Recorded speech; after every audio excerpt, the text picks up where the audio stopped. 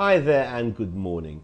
This is called Short Changed in the Caro and it's a trappy line in the Caro-Kann played by many, including by the great Nigel Short. e4 is met by c6 the Caro-Kann and rather than play the usual d4, white can also try knight c3. Black will challenge in the centre with d5 and white can revert back to the main line now with d4 or play the two knights variation with knight f3 or try this popular alternative queen f3 a move that Nigel Short himself has tried on several occasions. Uh, this move does however invite the aggressive d4 so when black tries d4 trying to kick at the knight white can gain time and develop the bishop to c4 with an immediate attack on f7 that's going to be decisive. That's going to have to be defended well, black can defend it either with e6 or with knight f6. If knight f6 is played, then black is inviting the counter threat e5. Now both knights, the black knight on f6 and white's knight on c3, are both hanging. So if black goes for d takes on c3, white will take the knight on f6.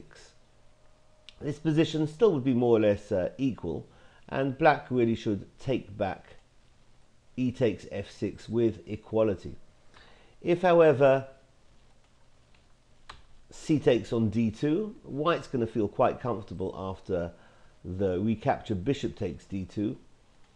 White will probably long castle and have active play along that d file. That's looking good for white.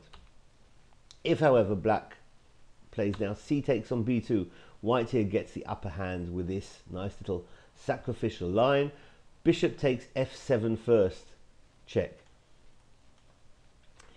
Uh, let's have a look first if king runs to d7, then bishop takes on b2, e takes f6, and knight e2 with an exceptionally comfortable game here for white. Black's really struggling. And after bishop takes f7 check, if king takes on f7, then we see the discovered check, f takes on g7 check.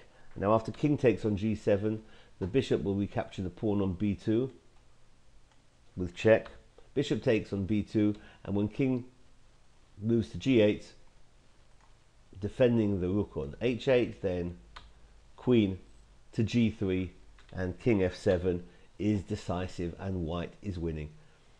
So this trap has been called short changed in the Caro uh, trap in the Caro-Kann. Hope you found it useful. Thanks for watching. Bye bye.